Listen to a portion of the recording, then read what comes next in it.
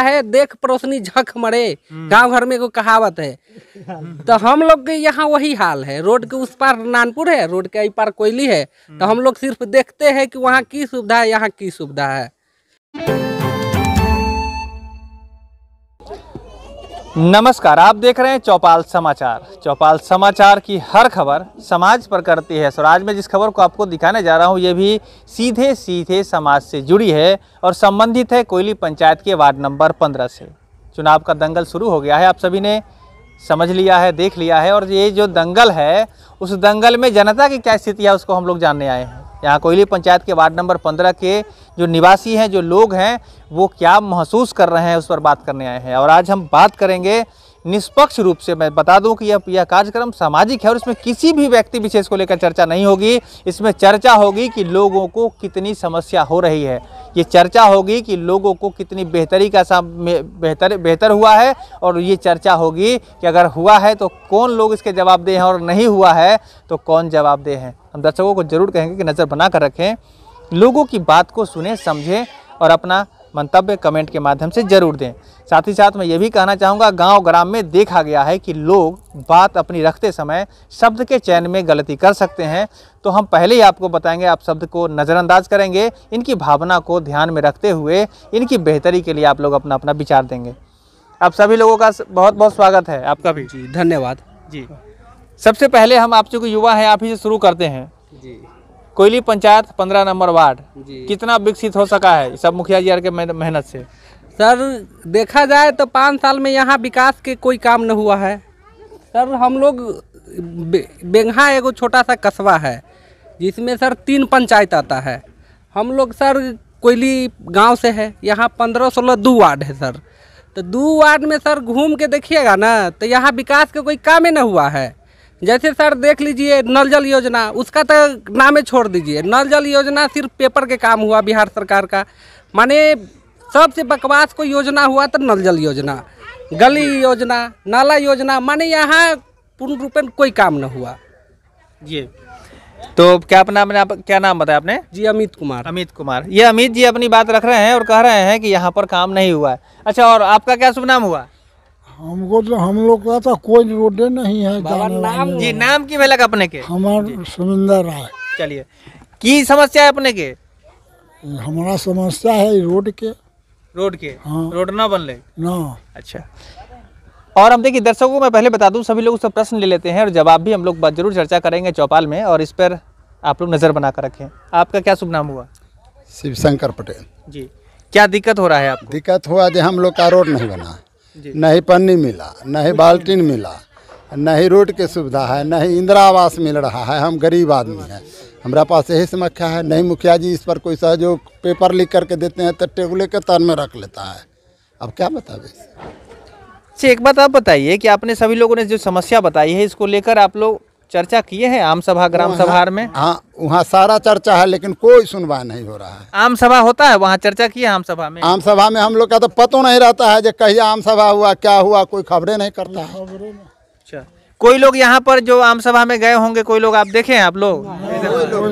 कोई नहीं एक भी आदमी नहीं गया हम सभा में। नहीं। नहीं। हम लोग? नहीं। सर हम लोग जानबो न करते केहन होता है? अब देखिए मैं दर्शकों को दिखाना चाहता हूँ। लोगों ने समस्या बताई है और ये कॉमन समस्या जो बेसिक समस्या जिसको कि हम लोगों को आज आज़ादी के इतने सत्तर साल से ऊपर बीत गए और साथ ही साथ जो यहाँ पंचायती राज व्यवस्था का जो स्वर्णिम काल बीता है बीस वर्ष में तो हर पाँच वर्ष पर मुखिया जी का चयन हुआ है।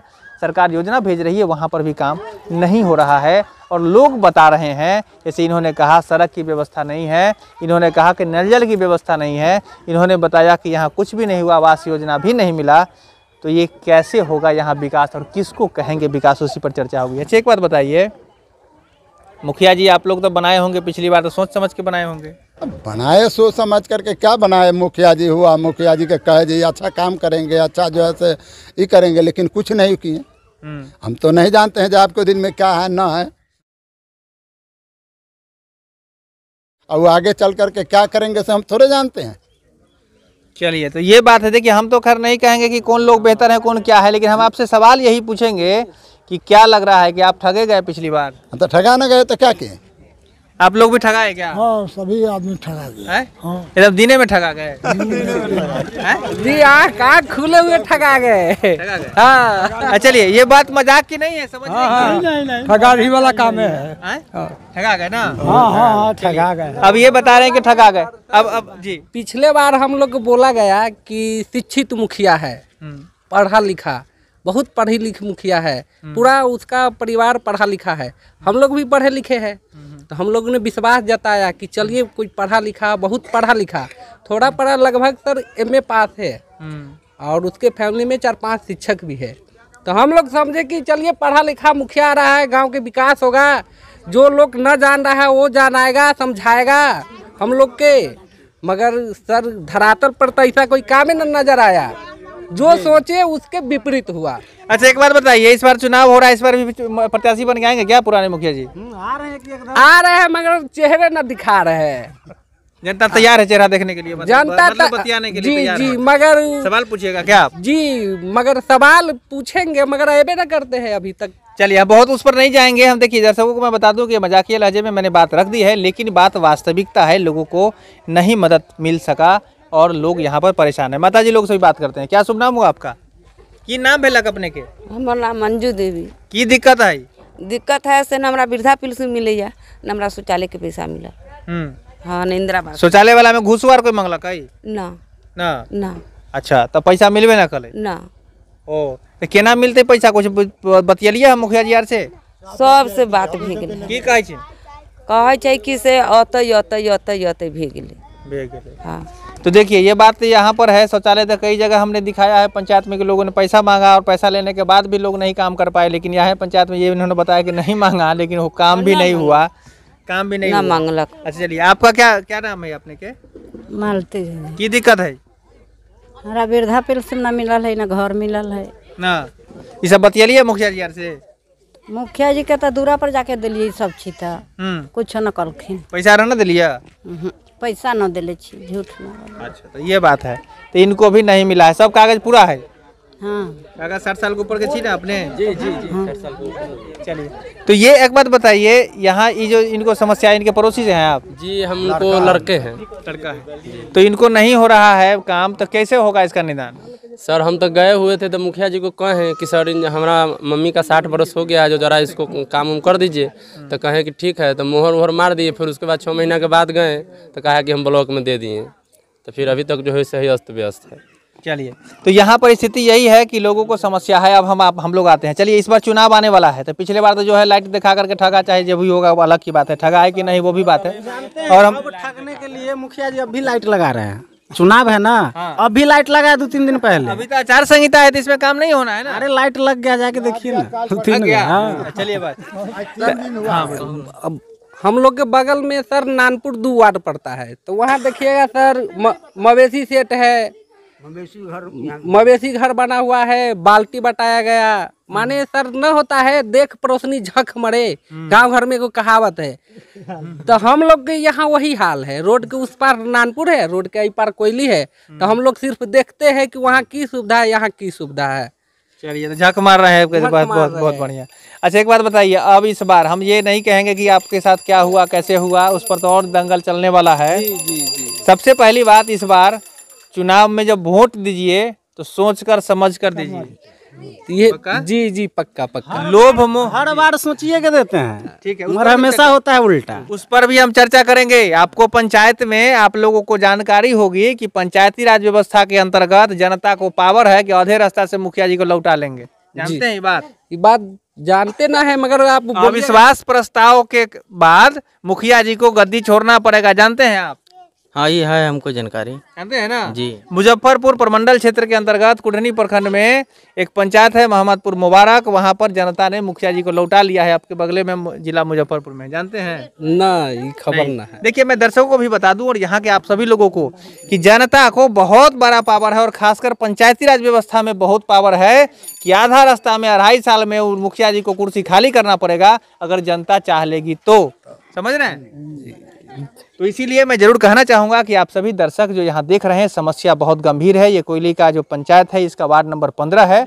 और यहाँ की जो स्थिति है, देखिए, मैं ज़रूर कहना चाहूँगा कि इस पर अधिकारी, पदाधिकारी, जनप्रतिनिधि नज़र बनाकर रखें और यहाँ की व्यवस्था को बेहतर बनाएँ।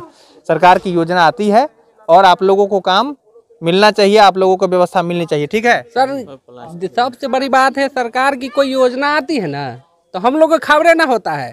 जैसे देखिए कुछ दिन पहले जियो टॉकिंग हुआ इंदिरावास के लिए। तो जियो टॉकिंग करने के लिए आया लोग तो बोले कि भाई चलो जियो टॉकिंग करवाते हैं। तो बोला गया कि दो दो हज़ार रुपया दीजिए।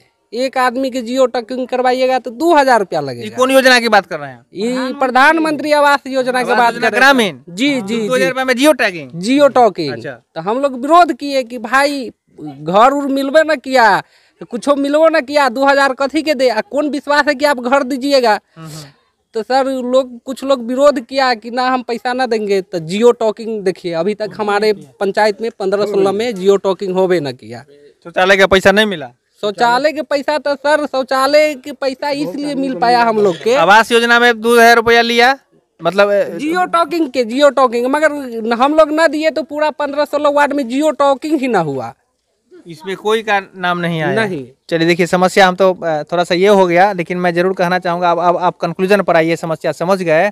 इस बार वोट सोच करके समझ कर दीजिए करेंगे ऐसा? जी जी ऐसा ही बिना लोभ मोह से नहीं ना ना? ना पक्का? सर ठीक है। दो सौ पाँच सौ के लोभ करेंगे उहे जियो टॉकिंग के लिए दो हज़ार फिर से मांगेगा। बोलेगा कि ये पास करा देते हैं पाँच पाँच हज़ार दीजिए दस हज़ार तो ऐसा थोड़ी करना है। चलिए अब अब अब हम लोग जी जी बोलो। हमको इंदिरा आवास दिया है दो साल हो गया पैसा है नहीं ढालेगा नहीं पैसा में कहता है देवे नहीं करता है क्या करेंगे हम उसको? कितना रुपया? क्या क्या किस्त मिला आपको? दो मिला है एक जब बाकी है कहता जैसे पैसा देगा तो ढाल देंगे नहीं देता है। क्या कह रहा है? कहता है आए अभी नहीं मिलेगा फलना चिल होगा चिलना चलिए अब चुनाव आ गया है और इस बार चुनाव में बेहतर आदमी को चुनिए। हम नहीं कहेंगे किसको चुनना है लेकिन आपको चुनना है। क्या पक्का है ना? जी जी जी पक्का है नहीं दिया है। ठीक है चलिए। तो ये बातें हैं यहाँ पर मैं ज़रूर कहना चाहूँगा कि आप सभी लोग जो भी दर्शक हमारे देख रहे हैं बिहार पंचायत चुनाव है और इस चुनाव में बेहतर को चुनना है अपनी समझ से चुनना है ठीक है? किसको के, सोच लिया है ना किसको चुना हाँ, है? सोच लिए हैं। ठीक है? हाँ सोच कोई भी आदमी यदि आपको आता है और लोभ मोह देता है तो उससे दूर रहें।